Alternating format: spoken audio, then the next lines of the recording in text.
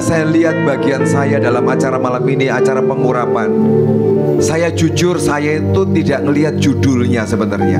Acara malam ini saudara. Saya cuma tahu saya bagian pengurapan dan saya doa Tuhan, mesti pengurapan apa ya? Tiba-tiba Tuhan berkata, double strength. Kekuatan yang dilipat gandakan. Kekuatan yang dilipat gandakan. Saya tuh baru tahu tadi waktu ketemu sana dengan hamba Tuhan, increase increase. Tapi saudara luar biasa loh. Saya nggak baca judulnya loh saudara. Tapi Roh Kudusnya berkata double strength, kekuatan yang dilipat gandakan. Aku akan memberikan kekuatan buat anak-anakku malam hari ini. Kenapa? Karena kita akan menghadapi dunia yang makin berat, makin sukar saudara. Itu yang pertama.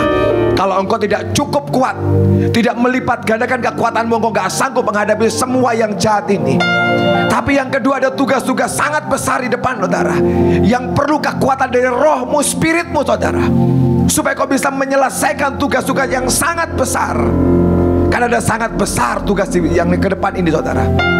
Dan Tuhan berkata urapi. Adakan pengurapan malam hari ini saya akan bacakan satu firman. Saya baca dalam bahasa Inggris saudara. Dalam 1 Samuel 16 ayat 13. Then Samuel took the horn of oil and anointed him in the midst of his brethren.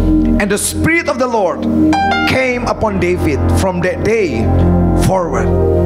Dikatakan ketika Samuel mengurapi Daud hari itu, maka Roh Kudus itu datang came upon David. Datang kita baca cuma datang, oh ya cuma datang aja rohnya saudara. Tapi kita kasih buka dalam bahasa Hebrew, bahasa aslinya saudara. Kata datang itu apa artinya saudara? Yang pertama to advance. Ada yang dinaikkan levelnya saudara, amin. Level kita di increase dinaikkan. Advance. Level kita kemajuan kita sedang ditambahkan Tuhan. Ketika pengurapan turun, levelmu gak akan sama saudara. Karena kalau levelmu sama hari-hari ini, engkau gak akan sanggup untuk mengerjakan tugas-tugas yang sangat besar yang dari Tuhan. Kecuali engkau dinaikkan levelnya ke sebuah level tertentu maka engkau sanggup mengerjakan tugas Tuhan dan kau akan cukup punya kekuatan untuk menaklukkan mengalahkan dunia yang hari ini makin menggila kekuatannya. Tapi yang kedua bukan cuma itu ta? prosper more prosper. Maka dia akan memberkati kau dengan kelimpahan yang lebih daripada sebelumnya sebab pekerjaan tanggung jawab yang dia serahkan dalam tanganmu saudara lebih besar biaya lebih besar. Bu Iin aja ngomong miliatan buat dia saudara. Tetapi dia akan memberikan tugas yang lebih besar. Dan ada cara lain.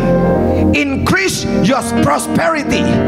Dia akan menaikkan berkatmu saudara. Dia menaikkan level kemampuanmu. Tarik berkat-berkat ini saudara. Dia naikkan increase that make progress dia akan tambahkan lagi semua progres kemajuan-kemajuan dalam hidup saudara. You not stuck, nggak mandek saudara. Tapi make progress, terus maju, terus maju, bergerak maju. Nggak dari tahun ke tahun sama, nggak. Ada progres yang luar biasa dan succeed more succeed lebih lagi keberhasilan increase your succeed berhasil di satu level satu hal. Dia akan tambahkan dua, tiga, empat Keberhasilanmu. Itu akan sangat kuat, sangat besar. Yang terakhir Be profitable. Keuntunganmu Akan di increase oleh Tuhan, amin. Engkau yang pengusaha bisnismen hari ini Kalau engkau mungkin sebulan Engkau untung 1M Dikatakan profitmu akan di increase oleh Tuhan. Amin pelayanan-pelayanan kita yang kau kerjakan selama ini. Persembahan semua uang yang kau kelola selama ini akan apa? Be profitable ditambahkan lagi oleh Tuhan keuntungannya.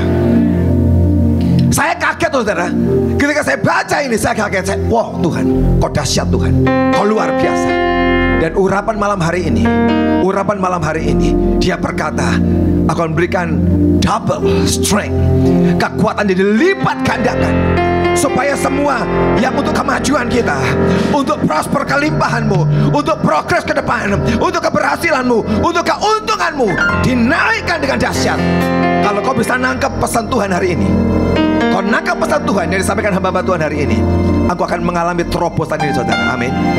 Alami terobosan ini dan tiba-tiba Tuhan tadi ngomong lagi satu hal yang hal luar biasa. Saya suka dengan Tuhan. Dia berkata God bless Abraham. Tuhan memberkati Abraham saudara. Dan ketika dia memberkati Tuhan berkata gini Aku akan buat keturunanmu Seperti pasir di laut dan bintang di langit. Dua hal saudara. Pasir di laut dan bintang di langit. Apa artinya saudara? Akan ada keturunan Abraham Yang cuma banyak betul.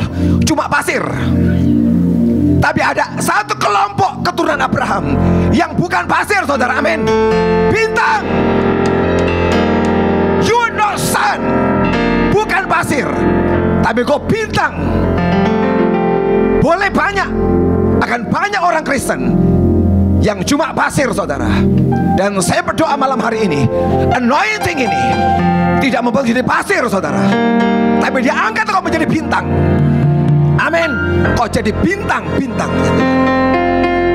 Malam ini terima pengurapannya. Nah, kita berdoa Tuhan, lipat gandakan. Kita berdoa di tiga area hidup kita. Yang pertama itu spirit, rohmu, saudara. Dia akan increase membuat kuat rohmu pelayananmu, kepekaanmu, ketajamanmu, caramu berkhotbah, semua yang rohani di increase oleh Tuhan. Yang pertama, saudara. Tapi yang kedua, secara jiwa mentalmu saudara. Ada banyak orang Kristen yang mentalnya lemah. Engkau kena persoalan, kena tantangan hancur engkau saudara. Tapi kalau rohmu kuat, mentalmu, jiwamu dibuat kuat, mengalami tantangan, tekanan, persoalan, hancur. Justru itu membawa engkau naik dengan kuat. Tapi yang ketiga, di tubuh kita minta kekuatan double saudara. Karena kita mesti pergi ke banyak tempat. Engkau mesti berkhotbah lebih banyak. Engkau mesti menginjil lebih banyak. Engkau mesti bekerja lebih kuat. Tubuhmu harus kuat. Kalau engkau lemah gak bisa saudara. Dan dapat tiga ini ambil anoint and increase dan tambahkan strength kekuatannya dalam hidup kita. Amin.